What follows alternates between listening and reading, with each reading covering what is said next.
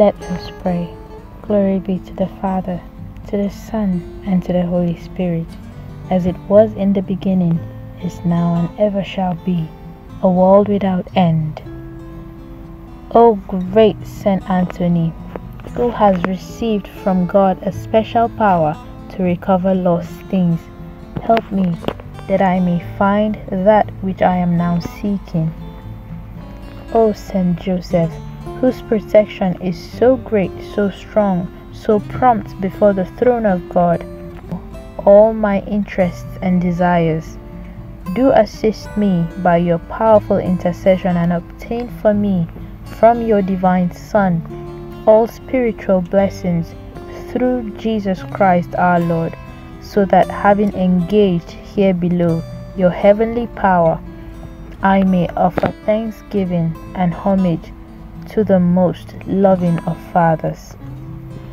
Saint Teresa, flower of favor and love, please intercede for us. Fill our hearts with your pure love of God. Make us more aware of the goodness of God and how well He tends His garden. Instill in us your little way of doing ordinary things with extraordinary love.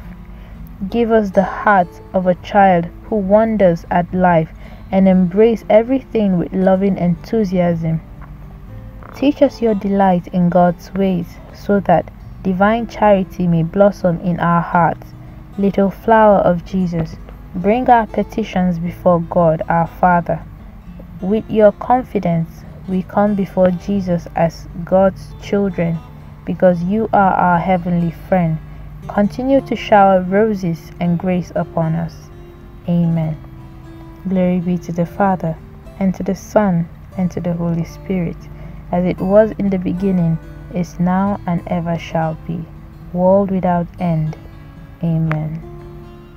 If you found this video to be helpful and uplifting, don't forget to subscribe, click our notification bell, and like our videos. And if you would like us to pray for you, don't forget to click the link in the description box of this video. We love you and God bless.